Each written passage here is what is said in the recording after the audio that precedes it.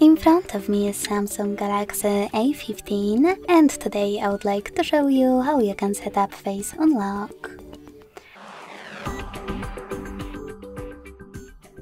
Begin by opening settings and scrolling down to access security and privacy. Then scroll down again, click on biometrics and tap on face recognition.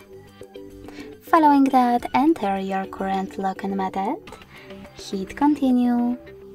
Keep your face in frame, wait for 100% mark and follow all of the instructions from your screen.